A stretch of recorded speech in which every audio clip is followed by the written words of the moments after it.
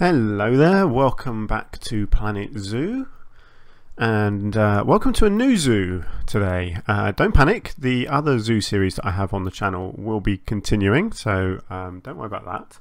But I've had an idea for uh, another new zoo that I'd like to do. So uh, I'm going to start by just explaining to you uh, what I've already done in my other zoos briefly and why I feel like I want to do a new one. So, uh, for any of you who have seen some of my other series, my very first one was called Green Valley Zoo, and that was just a sort of a test zoo for me, really. It was my first proper big zoo. It was just a. There wasn't a particular sort of uh, theme to it, it was just, um, you know, taking the each individual animal and building the most interesting enclosure that I could. But the zoo itself didn't really uh, have a style or anything. So that was that was sort of a practice. Uh, I then did Waverley Zoo, and Waverley Zoo was a lot more detailed, and it was uh, a realistic zoo, so lots of backstage area. Um, lots of small details, you know, little gutters on the buildings and drain pipes and you know, I, I don't know, all, all, sorts of little details that uh, that I hadn't done in Green Valley Zoo. Then I did Tiny Zoo, and Tiny Zoo was the the idea behind that was to create something small, compact, um, you know, very very detailed again, but very squashed together. And also, uh, particularly with the pathing, uh, it wasn't realistic, it wasn't usable, so I couldn't really open the zoo. There's lots of bits in there where I was creating pathways that weren't usable, but they looked good. Um, so that was sort of my thinking with Tiny Zoo. Uh, and then my fourth zoo was a safari park. Um, that series is um, still very young. I've still got a lot to do in there. Um, as I record this, I think I've I've recorded maybe seven episodes of Safari, uh, the, the, Safari Park, and I think I've maybe published three of them, maybe only two. No, no, I think it's three by now. Um, so still a way to go on that. So this now is Opal Zoo and uh, I will explain the reasoning behind the name in a minute. so let me show you my, my, my basic thinking first is that I want to create a very heavily themed zoo, which is, again, it's something I've not done before. So what I've done down here, as you can see, I've made a list here of the different sort of themes that I think I could make look good. So when I say themes, it's not just the animals, but it's the whole area. So the the um, the trees, the the shrubs, the rocks, uh, and obviously all of the details, all the decorations, um, every, everything I put down basically is going to be styled to suit each of these six uh, zones within the zoo. Uh, and then I've I've gone through and I've I've pulled out all the interesting animals that I think are relevant to each of the areas. So as you can see, obviously Australia has only really got three uh, three animals in the game that are specifically Australian. Uh, you got four here from South America, you got five from the Arctic, five aquatic, five Africa, and then all of these here are Asia. Now, this is the one I'm really going to be getting stuck into. I'm really excited about this because a lot of these are new animals from the latest expansion packs. Um, certainly, these top four uh, the Malayan tapir, the sun bear, the proboscis monkey. They're all, they're all new animals. I haven't done even the older ones in here the giant pandas, the Komodo dragons, I've not really played around with them much at all. So I'm really looking forward to getting stuck into these. Uh, African uh, penguin, uh, fennec fox, and meerkat. Uh, excuse me, meerkat are three new ones from the latest pack. Um, I've done all of the aquatic before. I haven't really played around with these Arctic ones. So I've not done Arctic wolves, polar bears, reindeers, or snow leopards. Or in fact, timberwolves, I don't think. So in fact, I think they're all new for me. All of these Australian ones are new for me. Um, the South American ones I have done before, so um, that isn't new, but I'm looking forward to doing a little South America area. So that's my thinking. It's not going to be a huge park. Um, I only want it to take up sort of this. On, let me move the screen. Roughly what you can see on the screen there is sort of the size of the park.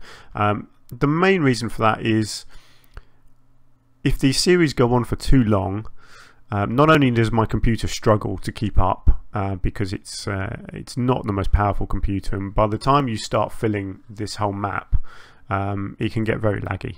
Uh, and so with so with my other parks, I've ended up having to remove the animals from the park just to um, prevent some of the lag, which is very annoying.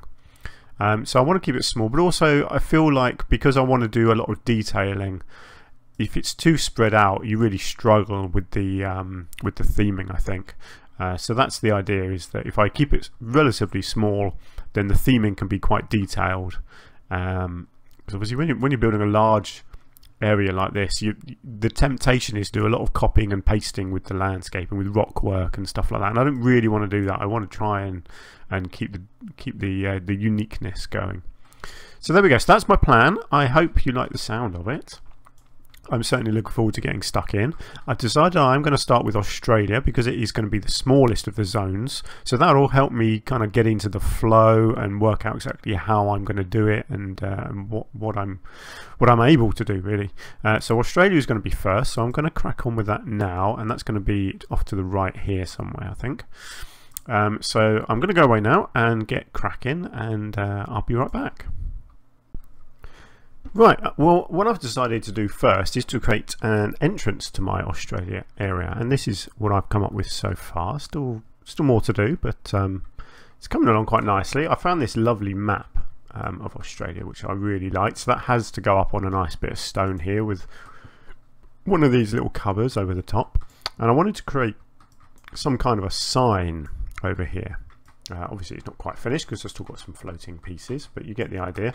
Um, so I wanted to um, to use sort of a, a wooden texture and, and first I just used the light coloured boards but then when I when I got back here you couldn't see them so I've just gone over the top and created it as a double layer using these darker planks and I think that looks really nice with these nice iron sheets randomly put behind. Um, and then I've used these these cool surfboard covers over the top to create a little shelter. I thought that looked kind of nice. And then just off to the side, um, you've, got, you've got one of these lovely mechanical kangaroos. They just look fantastic. And they're so daft, but uh, I, I absolutely adore that. So that has to be in here with a little fence with some of these little signs just suggesting what animals you might see inside. Um, I'm not actually going to have uh, what is this one? A ca cass? I'm not never sure I'd say a cassowary. I don't think that's how you pronounce that, but it might be. But I'm not actually going to have them in the park anyway. I don't think. Although actually, I might do because I've, I've got a bit of an idea of the, the enclosures I'm doing. So actually, I might be able to mingle that in with with some of the other ones. So who knows? We'll see. Um, and then I like the, the, the the idea of Australian sort of the outback where things are left and abandoned and fall apart. That's why I put these little iron sheets on the floor here um, just kind of suggesting that um, you know it's sort of dilapidated and things are falling apart. Um, so that's uh, that's where I'm up to so far. So there we go. Pretty happy with that. And and the rock work here is all random, just lots of um, lots of rocks all put together until I think it looks half decent, basically. Um, so I'm going to have a lot of fun, I think, with these rocks. It's, it's not not something I've put a lot of effort into in the past. Is is creating sort of these unique rock structures. Um, I've always been a bit too impatient to do it in the past, but uh, I'm gonna I'm gonna work more on that this time to try and really uh, make it look good. So there we go. So that's where I'm up to so far. So I've, I've got a little bit work still to do on this entrance, and then I'll be moving inside. And the first uh, habitat that I'm going to be doing uh, will be for koalas. Because everyone loves a koala bear don't they? So let me uh, let me go away and crack on with some more.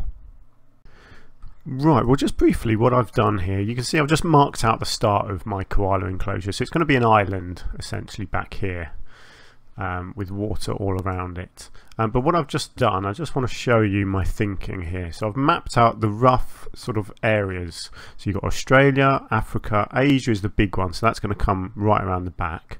Uh, aquatic here, South America here, and then Arctic over here. Uh, so I just wanted to show you that because um, I want you to, to have a rough idea of how big the park's going to be. So that's that's my thinking anyway.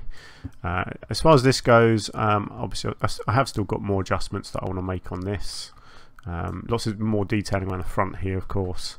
Um, but uh, yeah, I just wanted to, to, to, to quickly show you the uh, the layout. Uh, and now I'm going to go and uh, crack on with my uh, Koala Island. Got a few ideas for this. Not sure if it's going to work. I might have to make some adjustments along the way. Um, but uh, yeah, let me uh, let me go away and do some more work. Excuse me, and I'll be right back. Right, well, I decided to give you a little update here because I just want to show you um, exactly how not to do an island for koalas. In as much as I, I, had this idea and I hate this, this is terrible, this just does not work for me at all. It's not, I'm, I'm basically I'm going to redo this entire thing because it's not turning out how I wanted it to be. However, I wanted to show you what my thinking was behind this. So first I wanted to create a tree house. The, this is what I came up with but it's just it doesn't look great. It's it it works, you know. They do come up here, although they don't go inside, which is annoying. I'm um, not sure why. Sometimes they seem to be able to, and then sometimes they don't. Um, I wanted to do some kind of rope bridges connecting the tree houses with the trees, and that doesn't look good. I don't like actually having just one big island. It feels like the koalas are just too far away from you. Obviously, I could get away with that. I could I shrink the water, but then it's not really an island. So uh, I don't like this wall. This has got to change. So yeah, anyway, the koalas are in, so they're happy, but I'm going to completely redo this enclosure now because it's just not how I, I wanted it at all.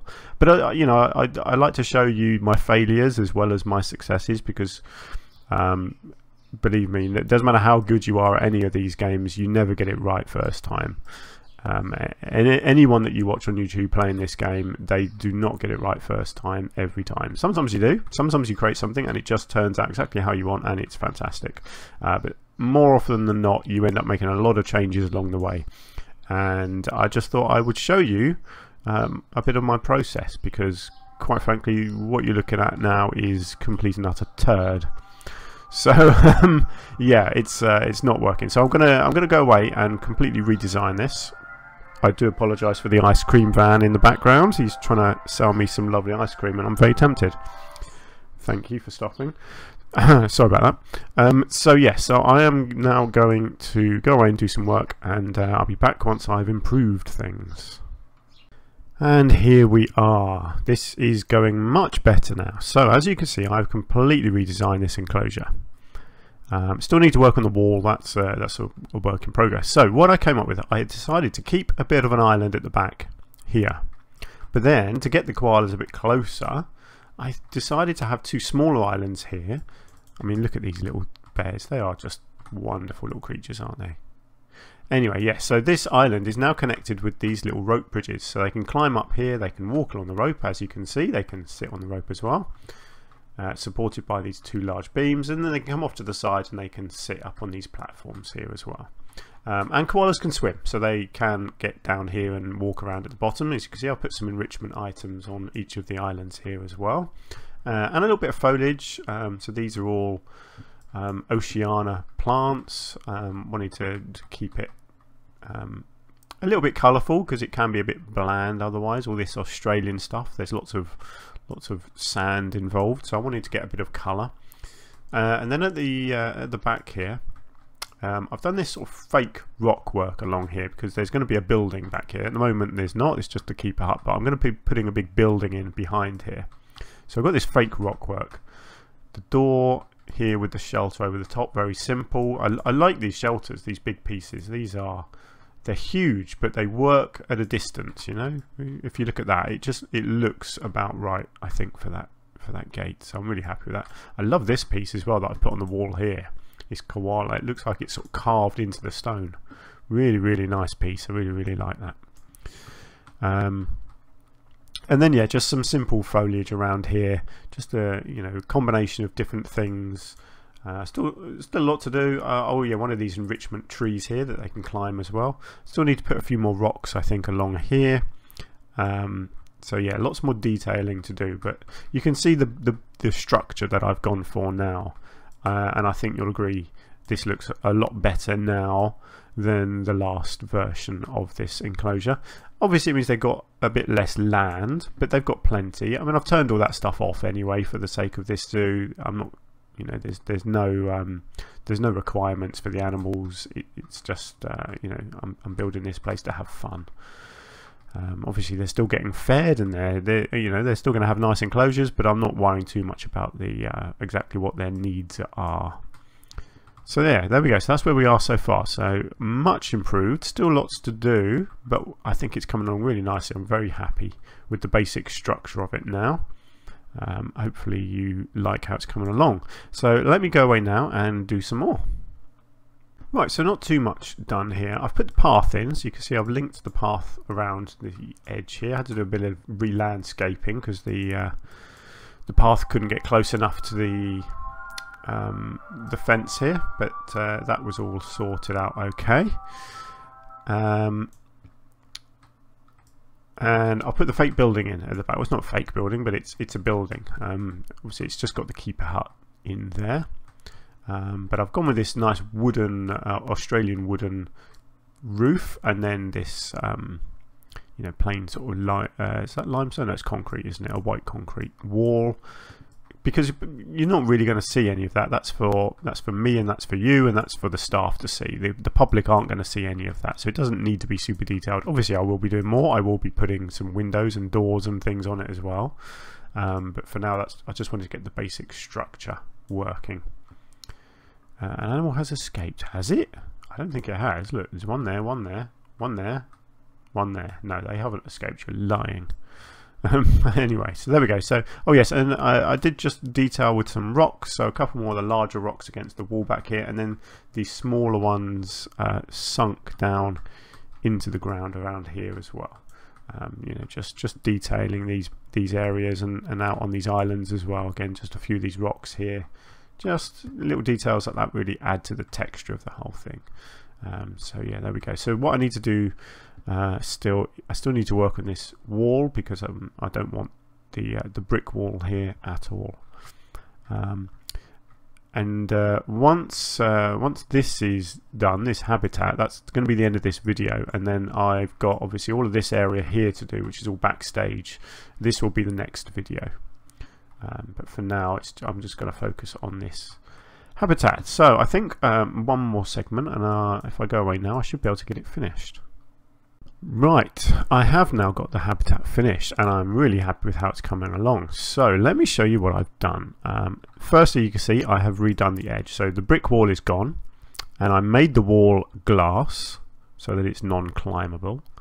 Uh, and luckily the koalas can't climb rocks either, so um, what I've done is create an entire barrier around the edge here using rocks all the way around there. Uh, you can see I've put a small media area at the front here. Again, just using uh, a rock on its side. Um, so you've got a small screen, big screen, you've got a micro, uh, not a microphone, a speaker here pumping out some information about koalas. You've got a uh, an education board here and this is one of my own custom small ones. So this is one of the small education boards that you use for the exhibits. Unfortunately, you can't use them for these larger things, which is very annoying. And then I've just sunk some um, some lettering pieces in there to make it look like it's got some writing on it. Um, and I think that's uh, you know simple and effective, and that will educate people nicely and it doesn't block, block the view either I didn't want I didn't want these all over here because I didn't want too much of the the view covered certainly when you come in here I didn't want anything around here I want you to be able to just look straight forward and see the animals see the water I didn't want any, anything here even low down kind of blocking it too much um, and I think that looks really nice. Very happy with how that wall has all come along. As you can see, I had a corner over here that I wasn't too sure what to do with, so I put a waterfall in. I thought that made sense, seeing as you've got a large body of water in here. Um, so a really simple waterfall, just one of the large waterfall pieces with all these rocks sunk in. Uh, obviously rocks just around it. I haven't detailed the back yet. Um, and some water plants as well, some reeds and some of these lovely lilies just floating around and there's a few more of the lilies over here as well and at the front here. And then the last thing I did, um, I realised that I hadn't given the koalas any sort of indoor area. Um, so I had to be a bit clever here. And as you can see at the back here, I've created a small cave. So I did this just by moving some of the rocks on this wall here. Uh, and then obviously because I built the building here, so you've already got the walls and the ceiling. So all I had to do was create a, uh, sorry, a fake wall here with the rocks, put some bedding down, got a little um, enrichment item here, Uh, got a light up here for at night, and I also put one of these web cameras in. Now these things are weird, and I know I think a lot of people have been commenting on these. The whole point of these things is certainly in a zoo would be to be able to link this to a TV screen, which you could then have out here somewhere on a little board, and people could then watch what the koalas are doing in the bed area uh, without the koalas knowing. But you can't. At least I don't think you can. At the moment, the only way you can use this is by um, enter camera view on here, and then if the camera, if the koalas are in there, you can then watch them. But then I, I can do that anyway because I can float around all over the place, but the public can't. So, yeah, not really sure what the point of that is until you can link it to a monitor somewhere. Very, very odd. Um, I'm, I'm pretty sure that's something they'll implement because otherwise those are basically pointless. So there we go. But I really like this actually, how that worked out. Having a little cave back there. And the koalas do go in there. I have seen them use it. Um, so there we go. That is our first uh, habitat in this area. Like I say, lots of backstage stuff to do still over here, but um, for now, that's that's going to be it for this video. I am very happy in the end with how this turned out. It did take me, like you saw, it took me a couple of attempts to get the layout correct, and then it was just about detailing. Um, but actually, uh, I, I think it's turned out well. I think it's better than I imagined it was going to be. I'm very happy that I came up with the idea of having these two smaller islands at the front because now you can really feel like you're quite close to the animals. Whereas before, the closest they got was sort of right back here in the water area here. Uh, so you're quite a distance, but now you could almost, you know, feel like you can uh, reach out and stroke them. An animal has escaped. I bet you it hasn't. No, it hasn't because there's all four my koalas are sitting right there. Don't know what keeps thinking they've escaped. That is very odd. Never mind. I know they haven't because I can see them all. Hmm. And the tra traversable area is pretty decent as well. So let me just, oh yeah, there we go. See, so they can they can climb these trees as well. So they could come right up into these trees here if they want, and up here as well. And you've got obviously the post. You've got this tree at the back here as well. And this is their their um, uh, their enrichment item on this tree here. As you can see there, they can go inside the cave. Uh, but they can't escape, which is good. So they can, I mean, this bit here shows that they can get up on the rock, but they can't then escape. Uh, and they can't get out anywhere, which is good. Again, over here, they can just about get up onto this rock. Oh, in fact, look at that. They could actually get right up on this rock here. But they can't get down the other side. That's interesting. So they could almost come up here and get touched by, uh, by the people, but I don't suppose they ever will. Um, but yeah, so that's great. I am very happy with how that has turned out. Um, so let me zoom out and show you.